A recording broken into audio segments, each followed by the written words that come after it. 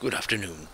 I'm Thomson Williams with an exclusive update on my cross North American tour.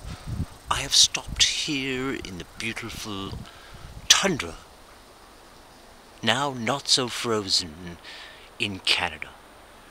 I'm located in southern Ontario where I've been told by local kids that there is a beast that runs free in these woods.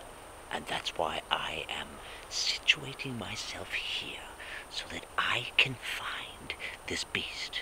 Now I'm told it is part wolf, part porcupine, part raccoon, part fox, and part local cat. And a very, very vicious animal at that. That's all I'm told.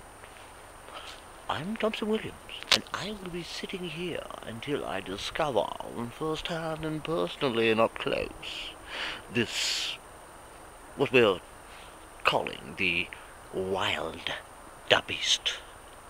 I'm Thomson Williams, reporting to you live across the frozen tundras of Canada, which aren't so frozen right now. Apparently they can't find enough money in the budget at the BBC to fly me home quite yet. So until then, I'll be sitting right here, waiting patiently for the wild, the beast.